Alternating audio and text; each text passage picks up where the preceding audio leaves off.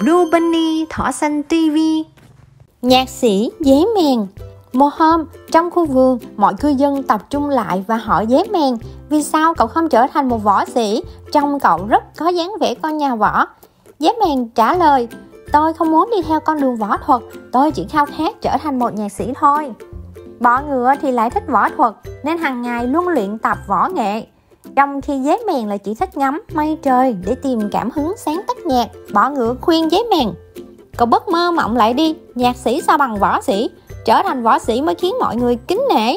Dế mèn trả lời, Tớ không cần người khác kính nể mình, Tớ chỉ muốn mình trở thành nhạc sĩ Vì tớ yêu âm nhạc, Đơn giản vậy thôi. Nhưng để trở thành nhạc sĩ thì dế mèn phải thường xuyên kiên trì, khổ luyện. Mỗi tối dế mèn thường say sưa luyện tập kéo vĩ cầm tiếng đàn mới luyện nên rất khó nghe.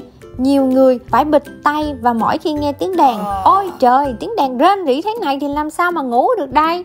Để không làm phiền mọi người dế mèn đành mang đàn ra bãi đất hoang tập luyện. Đôi lúc chú cũng buồn nản vì tiếng đàn của mình vẫn chưa hay.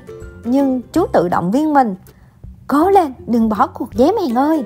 Một thời gian sau rồi cũng đến ngày diễn ra cuộc thi tìm tài năng của khu vườn mọi người nô nức đăng ký dự thi.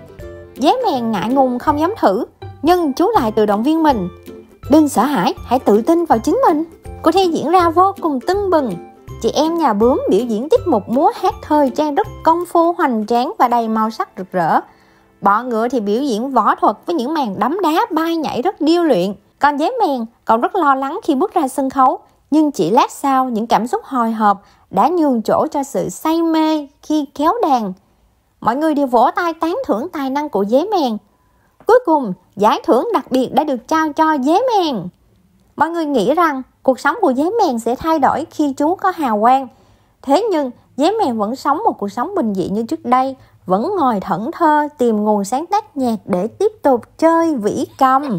Mời các bạn nhấn đăng ký kênh và nút chuông để nhận thông báo các video mới nhất nha. Xin chào!